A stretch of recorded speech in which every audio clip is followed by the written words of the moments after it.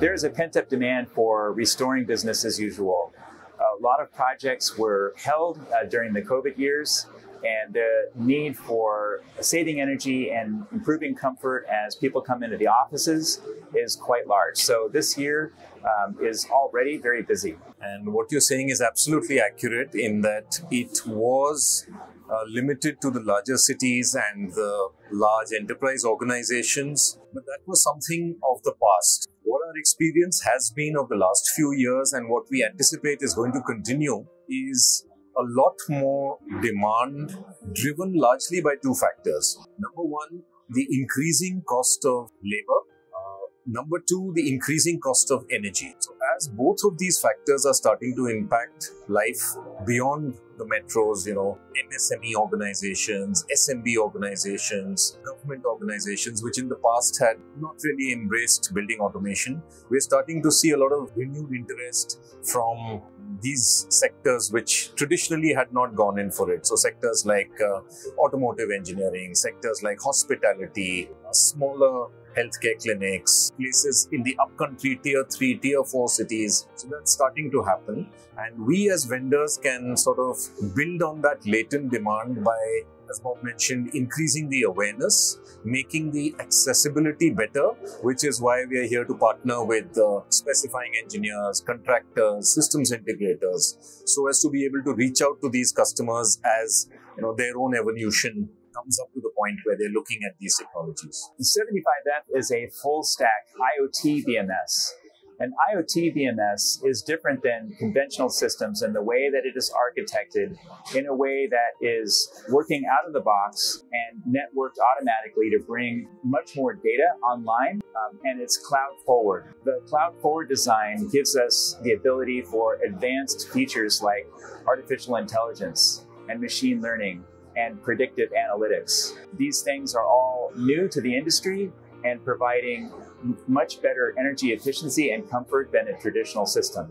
the residential segment is an enormous segment uh, in the Indian market. So this really has a trickle down effect. So starting with the large tech parks and the commercial establishments, we are now seeing interest in uh, large warehouses, malls, retail chains, uh, diagnostic clinics. So we're servicing that demand. It will take a little bit more time for this to populate to the residential segment. One of the reasons is that the energy bills tend to be fairly low in a residential segment. So to go in for an automation solution that automates and saves you energy, it will take a little bit of time for that to happen. But there is interest uh, as larger homes are getting deployed and as people are looking at greater automation to be deployed we expect that in the next few years, the residential segment will also pick up. Think the examples to look at are uh, close to India, outside India, in the Middle East, for example, or in Singapore, where you have mixed use kind of buildings where you have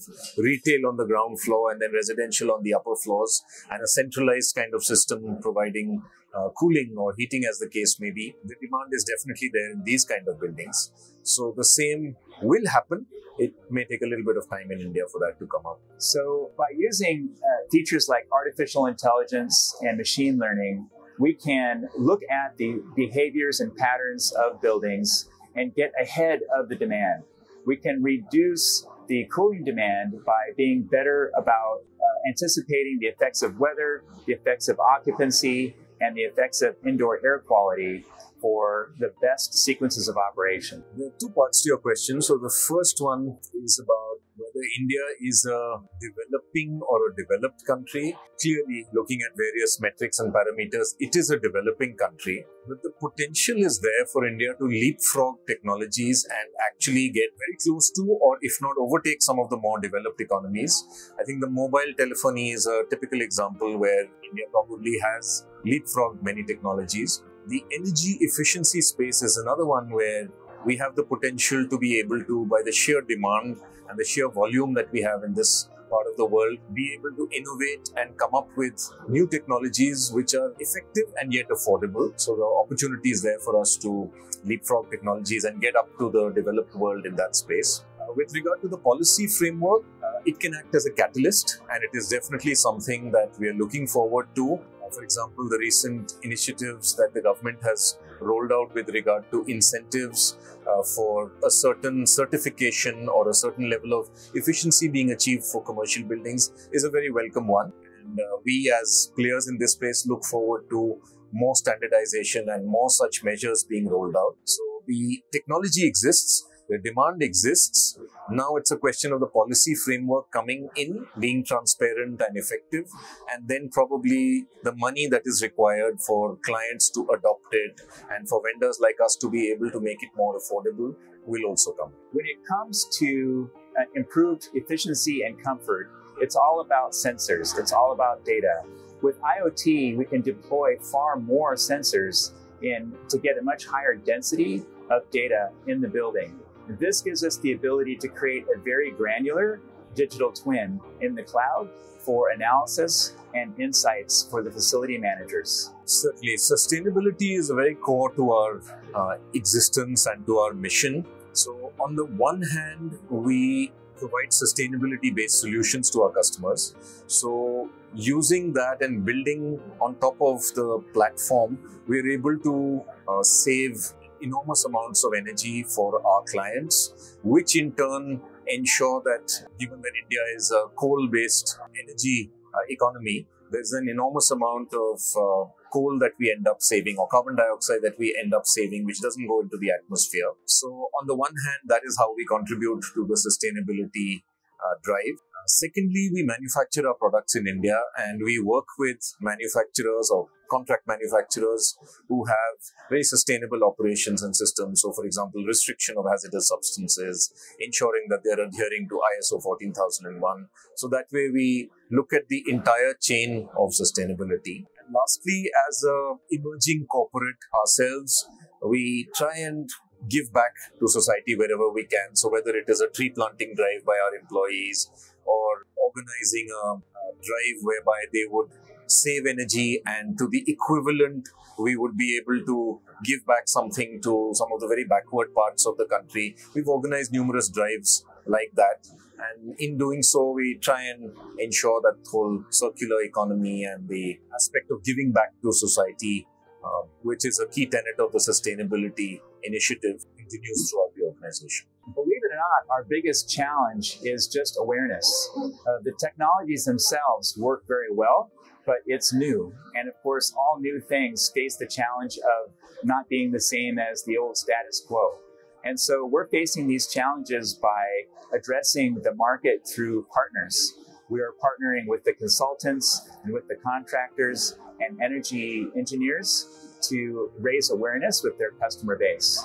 Certainly happy to. So, the technology that we at 75F are promoting is essentially of an IoT based BMS solution.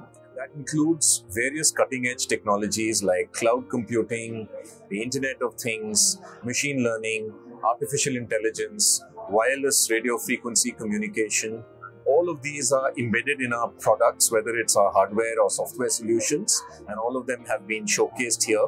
And we hope to drive this message of using the latest technologies to make it more accessible and affordable to our customers while making them more comfortable and saving energy in the process. We're helping businesses by bringing automation to places that haven't been before.